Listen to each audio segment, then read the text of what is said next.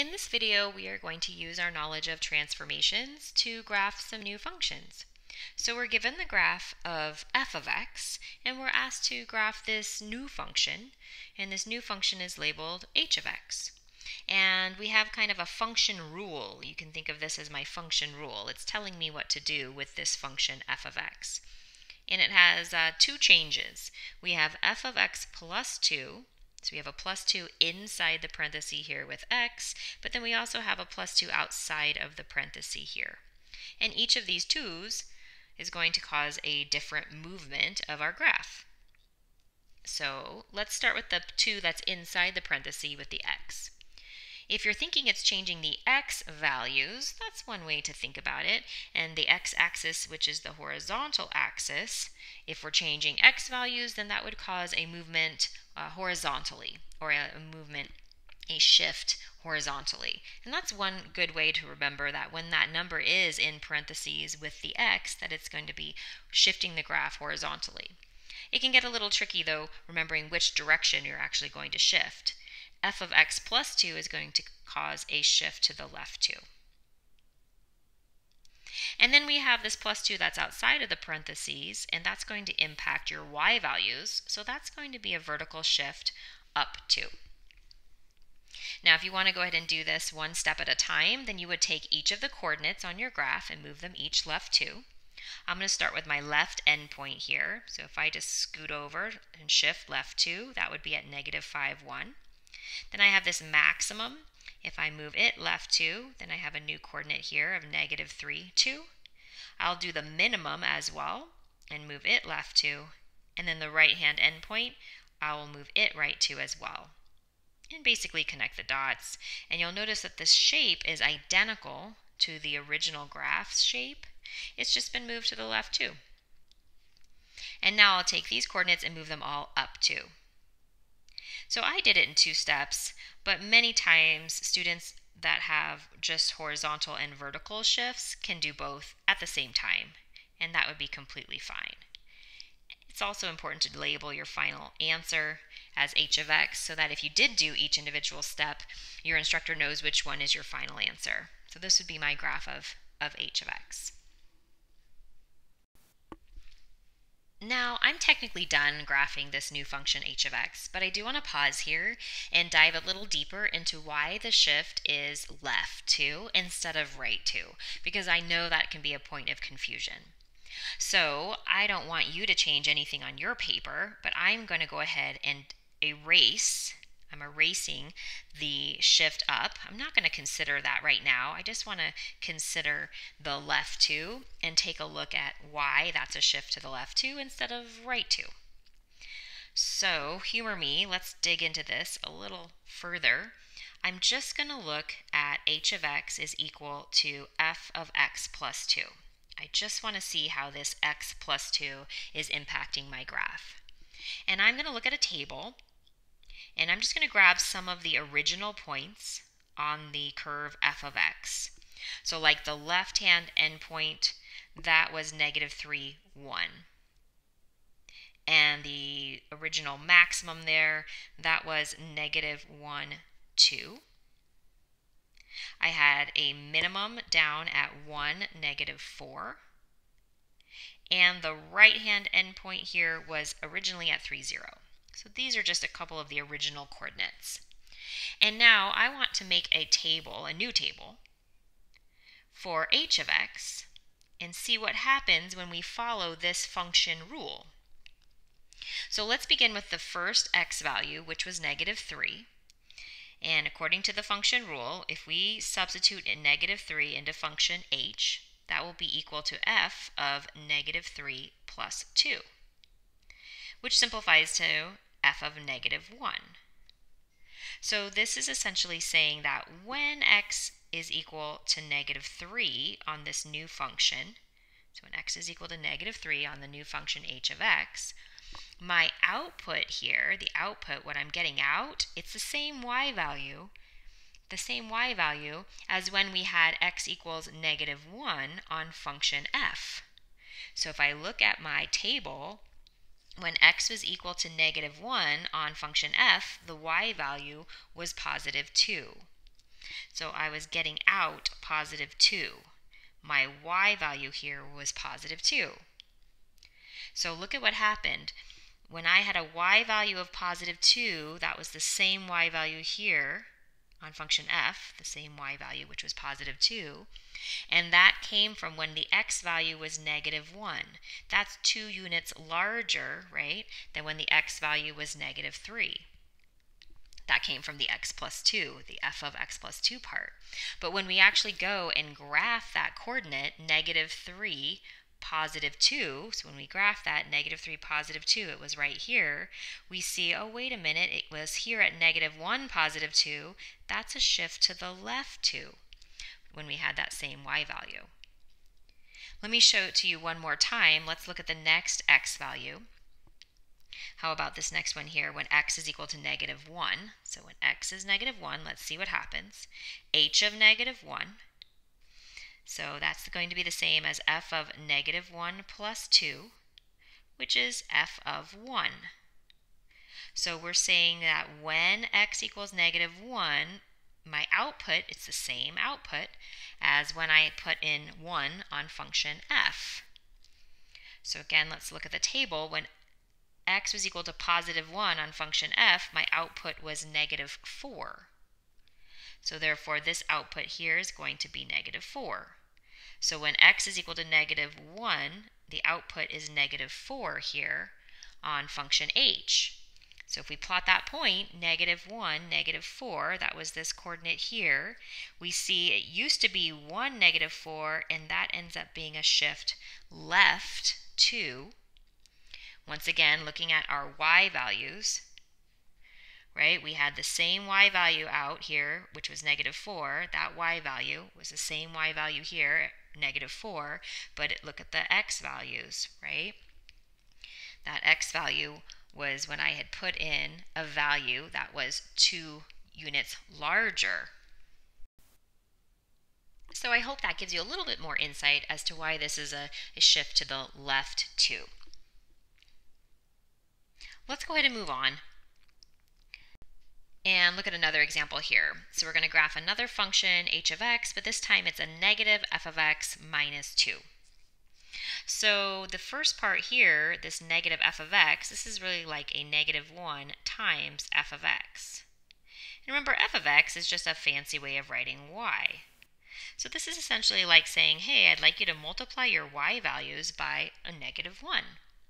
So think about what happens if we multiply our y values by a negative 1. I'm going to show this in a table just to demonstrate it. You don't necessarily have to actually have the table written out. But if we take a look at the original points, the left end point, which is negative 3, 1, the maximum at negative 1, 2, the minimum at 1, negative 4, and the right endpoint at 3, 0. If the function rule is telling you to multiply, essentially, multiply your y values by negative 1, Let's see what happens. So I'm going to show here that I'm multiplying all of these y values times a negative 1. And then I'm going to record my new values here in my table. So I'm actually going to just label this negative f of x. Since I haven't done the entire function rule, I haven't dealt with this negative 2 yet. So the x values didn't change. Those x values are all the same, but the y values all were multiplied by a negative 1. So if you plot these new points, so negative 3, now negative 1, negative 1, negative 2, 1, 4, and 3, 0, and connect those four points, you'll see that we have reflected the original graph and we've reflected it over the x-axis. This point, left endpoint here, it jumped across the x-axis. That's the reflection that we're seeing. So when we change the y values, when we're multiplying those y values by a negative, it's actually reflecting the graph over the x-axis. So our first transformation here is a reflection, and we are going to reflect over the x-axis.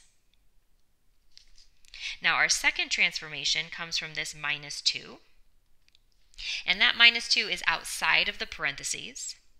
So again, I'm going to write it like this. I'm just going to write f of x minus 2. I'm not going to worry about that negative since we already took care of it because I want you to think about f of x as being y. So this is saying, hey, I'd like you to take your y values and subtract 2. So that's going to cause a shift down 2 if every y value becomes 2 smaller. So it's a vertical shift. We'll say it's a shift down 2. And if you wanted to, you could actually show that and demonstrate that in a table by taking my y values and subtracting 2 from all of these y values. So you could write minus 2 next to all of those y values and then have a final table here for h of x. And in this particular example, you'll notice that the x values didn't change at all. The y values now, so negative 1 minus 2 is negative 3, Negative 2 minus 2 is negative 4. 4 minus 2 is 2. And 0 minus 2 is negative 2. And essentially, this would be your table of values for your final graph. But many times, people get more comfortable with transformations and don't actually have to write every single table to show all of your steps.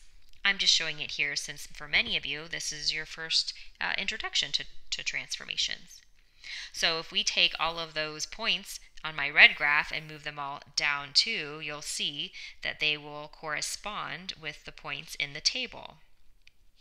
So taking the four key points, moving all of them down two, results in this graph here, the one I have graphed in blue. And then I would always recommend that you label your final graph so that your instructor knows which one to grade. So I'll label this final graph as the graph of h of x. All right, another example here. This one we're trying to graph a new function called function k. So this time we have a 2 in front of the f of x. So we're doing 2 times f of x. So again, remember f of x is a fancy way of writing y. So this function rule is telling me to multiply my y values by 2. Multiply my y values by 2. So that is going to cause a vertical stretch so I am going to have a vertical stretch. You could even write times 2 if you wanted to, or a vertical stretch by a factor of 2. And I'll show it to you in a table, although I know some of you won't necessarily need a table, but it may help. If we take a look at the original four points on the graph, negative 3, 1, negative 1, 2, 1, negative 4, and 3, 0, but we are going to multiply all of the y values by 2. So very much like the last example where we multiplied the y values by a negative, but this time we're multiplying our y values by 2. So this will be 2 times f of x. Notice the x values don't change. So then my y values are all going to change. And look what happens when we plot those points we have negative 3, 2. Again, the y value was multiplied by 2. Negative 1, 4. x value did not change. The y value was multiplied by 2. So if I plot those points, what has happened here, we've changed the shape of this graph. We have vertically stretched it away from the x-axis. Because we multiplied all the y values by 2, it's a vertical stretch. And finally, we have this plus 1 outside of the parentheses, so that's going to be a shift up 1.